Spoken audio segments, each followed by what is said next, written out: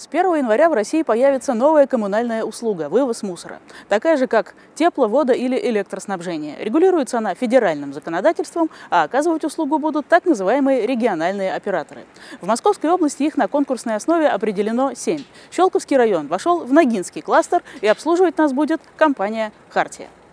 В рамках подготовки к реформе в администрации района регулярно проходят совещания, на которых порядок взаимодействия с региональным оператором разъясняют управляющим компаниям, руководителям учреждений здравоохранения и образования, председателям СНТ и ДНТ, жителям частного сектора каждый мусорообразователь, каждый должен заключить договоры с региональным оператором. Это касается и частного сектора, это касается и юридических лиц, это касается и садоводческих товариществ, и дачных э, кооперативов. Вопросов у участников совещаний много. Они касаются образования тарифов, порядка заключения договоров, содержания контейнерных площадок с учетом того, что 1 января будет сложный период захода, да, когда мы должны войти, это новогодние праздники – мы хотим оставить те схемы, которые сейчас существовали. То есть, если у вас был график, будем работать по графику. А, вывоз КГМ, он, как правило, был, осуществлялся по заявкам. То есть мы будем тоже работать по заявкам. Но мы должны понимать, чем больше вы нам дадите информации с территории, тем мы плавнее сможем зайти. Для жителей многоквартирных домов изменения тоже последуют. Вывоз мусора будет исключен из оплаты услуг управляющих компаний, а в квитанциях появится отдельная строка. Мы очень плотно уже очень работаем с региональным оператором. Практически все управляющие компании уже отработали договоры, 7 управляющих компаний подписали а, договоры на вывоз мусора. Действовать они будут с 1 января.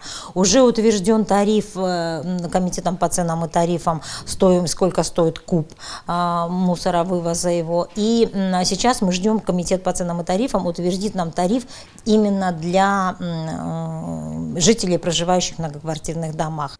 Разумеется, региональный оператор «Хартия» будет работать по системе раздельного сбора мусора. Добавим, что закон Московской области о благоустройстве обязывает собственников привести контейнерные площадки в городе, в поселениях, а также в садовых и дачных кооперативах в соответствии с новыми требованиями. Региональный оператор берет на себя оборудование площадок, а, то есть вот он устанавливает контейнеры, хотя опять же контейнерные площадки, которые в городе а, и при МКД, мы уже практически все их оборудовали э, контейнерами для раздельного сбора мусора. У регионального оператора будут машины для раздельного сбора мусора, серые и синие. Нововведение призвано в первую очередь навести порядок в этой сфере, стать эффективным способом борьбы с недобросовестными и нелегальными мусоровывозящими компаниями. Только у регионального оператора будет утвержденный тариф, только у регионального оператора будут лимиты на полигоны. Никто другой, чтобы все понимали, никто не может заключить там непонятно с какой организацией, потому что значит она привезет и вывалит это на соседнюю контейнерную площадку. Или в лес. Или в лес. И все должны понимать, что порядок обращения с отходами с помощью региональных операторов не инициатива районных или даже областных властей, а требование нового федерального законодательства. Ирина Микеда, Александр Аржевский, телерадиокомпания «Щелково».